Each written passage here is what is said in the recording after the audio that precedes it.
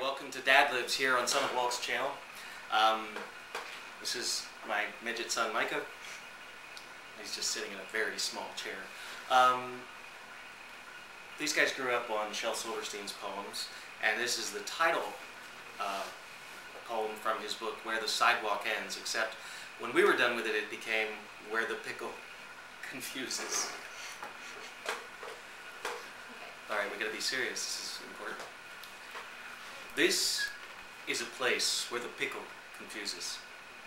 And before the painting begins, and there the grass, fluffy, soft, and peach.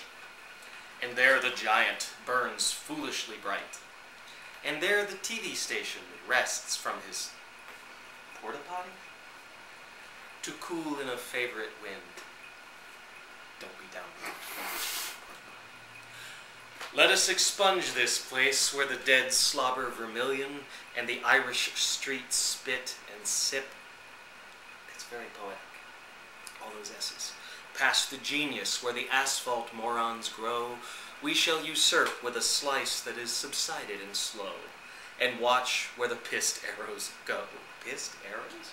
To the place where the hobo mixes. Yes, we'll blink with an injury that is uploaded and slow just like YouTube. And we'll go where the hairy arrows go, for the dads they mark and the hearts they know, the place where the pickle confuses. It's a wrap. It Means we're done. Finally. Oh, okay. It's just the credits. Alright. It's like Ferris Bueller's Day Off. What are you still doing here? You can start. Stop.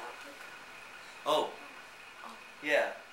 As the credits are rolling by, are they rolling by? I think they're rolling by. We should probably quit somewhere.